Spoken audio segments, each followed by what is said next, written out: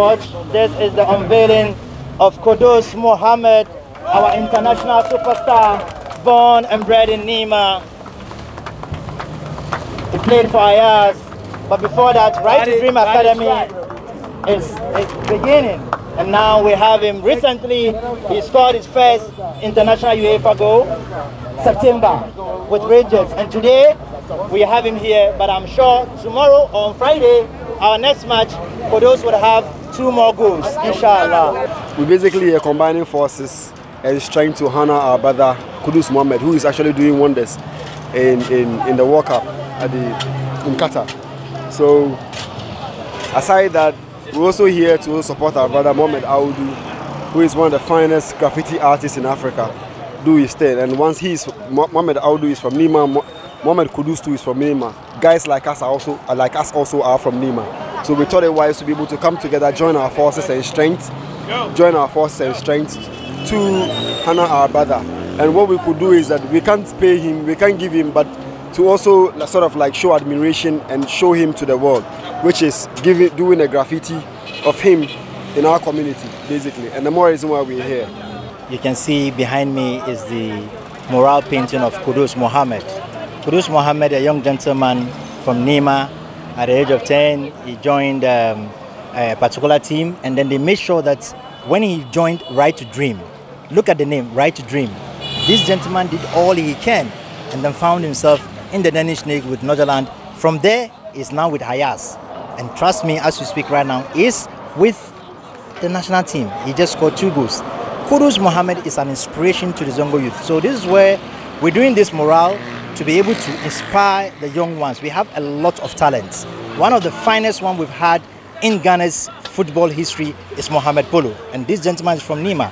Name them, all the big stars, the Isaka, Audu, all those players came from Nima. So it is only appropriate to celebrate them whilst they are alive. The Zongo community is composed of many diverse people. And um, out of the chaos, you find really disciplined people. And um, our main go-to is football. That is what we entertain ourselves with. That is, that is our happiness. Every morning you find kids playing football after school, you find kids playing football. That is our getaway because the house is choked. It means that out of the hundreds and thousands of young people, there is talent. And if you get inspiration and you get mentorship, then products such as Kudus becomes a household name. We just need a little bit of guidance, a little bit of um, support um, and investment. And I tell you what, the number of youth that will come out of the Zongo communities will be marvelous. People like Samuel um, Osei people like um, Sulley Muntari, name them, um, they're all Zongo products. That tells you that it's a huge potential that the country can actually milk from if given the needed attention. It's a great thing that happens to us. One of us is excelling out there and we are very proud of him. That's why one of our brother too, one of the best artists in the world, not in Africa self currently, is doing wonders here. So that tells you that we are happy. That's why you see number of people are out here to come and celebrate our brother. My memory of Kudus is, is a boy that is a go-getter. From infancy, he doesn't, he doesn't, he doesn't give up. He feels like yeah, he can do it. And these are the things. We have number of Kudus in the community, number of Kudus, but just because they don't have help, they don't have like they, we don't have enough pitches for them to excel to to express their talent. I know Mohamed Kudus since he was 12 playing, so I, I see his talent and his capabilities and what he's doing right now. We, we saw it way back. What Kudus is doing right now, we saw it.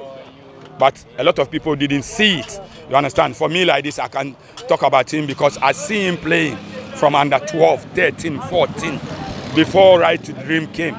You understand? So what he's doing right now, we are most grateful to Allah. You understand? So we are happy. Yeah. So you just heard the thoughts of Mohamed Kudus's friends and also some of his fans here in Nima. So anytime you pass on the stretch of Kaukudi, just know that you can catch a glimpse of Mohamed Kudus's mural here in Nima. Reporting for Ghana Web, my name is Joseph Adamafiu, Accra, Ghana.